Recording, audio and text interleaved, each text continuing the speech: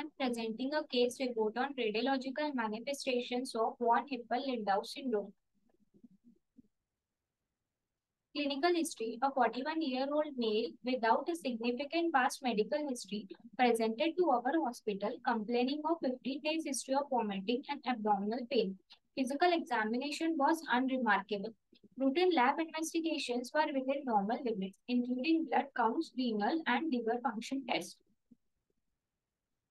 Imaging findings, ultrasound of abdomen and pelvis demonstrated bilateral multiple simple renal cyst, multiple simple liver cyst, and bilateral large adrenal masses.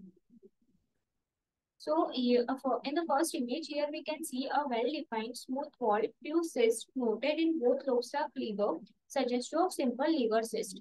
In the second image, there is a well-defined smooth wall, few cysts are noted in both the kidneys, suggestive of simple renal cyst.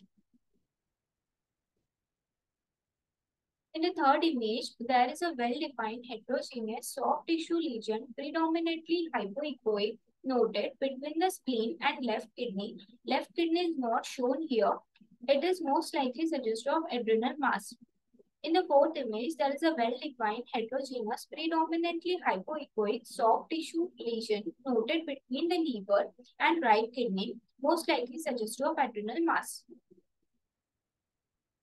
Subsequently, a contrast-enhanced CT abdomen demonstrated multiple thin-walled cyst lesions of varying sizes noted in both kidneys consistent with bilateral simple renal cyst.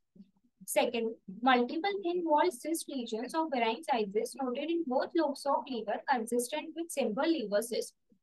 And third, heterogeneously enhancing bilateral adrenal masses most likely suggestive of bilateral pheochromocytomas. So here we can see there is a multiple well-defined smooth wall cystic lesions are noted in both lobes of liver. In the second image, uh, there is a bilateral adrenal masses seen. On the right side, adrenal mass is somewhat heterogeneous and uh, there is a hypodensity seen within the lesion suggestive of necrosis. Again, uh, we can see there is a bilateral renal cystic lesions and a liver simple cyst and also there is a bilateral adrenal masses. A contrast enhanced MRI of brain was done demonstrating a cystic lesion in the inferior aspect of left cerebellar hemisphere with an enhancing solid component. This lesion is likely represent hemangioblastoma. Discussion Von Hippel-Lindau syndrome is an autosomal dominant inherited neoplastic disorder that demonstrates age-dependent penetrance and marked phenotypic variability. The basic underlying abnormality is mutation in VHL tumor suppression gene located on the short arm of chromosome number 3. The tumors are initiated by VHL inactivation and are associated with abnormal activation of hypoxic gene response pathway. The most frequent tumor are retinal and CNS hemangioblastoma, followed by a clear cell RCC, pheochromocytoma, pancreatic islets tumors, and endolymphatic sac tumors. In addition, renal and pancreatic cysts, as well as epididymal or broad ligament cyst adenomas also occur. All of the tumors that are typically found in VHL disease can occur as a sporadic event. So, a clinical diagnosis of VHL disease is a, in a patient with a positive family history requires the presence of two tumors. Example, two hemangioblastomas or a hemangioblastoma and a visceral tumor. Although specific gene mutations can be demonstrated, diagnosis is generally clinical and depends primarily on the imaging. Location-wise, patient may develop some or all of the various lesions, which includes abdominal pelvis lesion, where renal is most common, which includes renal cell carcinoma, renal cyst, and renal angiomyolipoma, from which renal cell carcinoma are most common.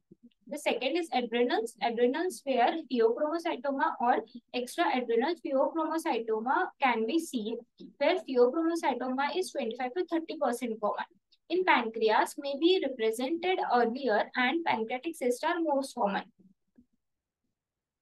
PNET can be seen usually non-functional and frequently multiple can be seen in 9 to 17% of patients. Pancreatic serous cyst adenoma or pancreatic adenocarcinoma can be seen. In liver, liver cysts are more common. Urogenitally, uh, there is epididymal cyst can be present. Broad ligament cystadenomas can be present. In CNS, 70% of patients may uh, presented with the CNS hemangioblastomas, where uh, the most common site is cerebellar, or second most common is spinal cord, or can be seen in brainstem. We have presented here classical case of rare VHL syndrome. CECT abdomen were consistent with bilateral pheochromocytomas, liver and renal cyst. MRI findings were consistent with hemangioblastoma of left cerebellar hemisphere.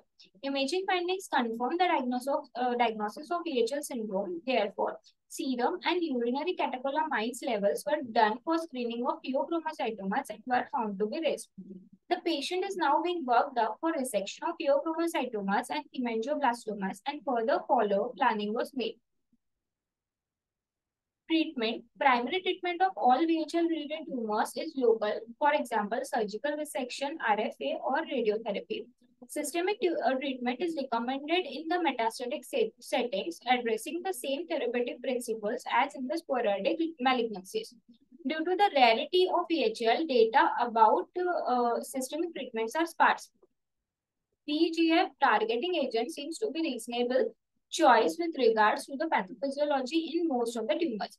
High levels of VEGF are found in hemangioblastoma and it has been hypothesized that blocking the VEGF pathway might result in disruption of the tumor angiogenesis and consequently tumor regression. Conclusion, early diagnosis and application of recommended screening program for VHL is of utmost important to prevent early morbidity and mortality. Local therapeutic approaches are the means of tumor treatment and should be provided by experienced physician with a widespread knowledge of VHL disease. Further understanding of pathophysiology and consequences of VHL gene mutations may guide further targeted therapies. Even if asymptomatic, such patients should be followed to detect new lesions and to monitor the progression of known lesions.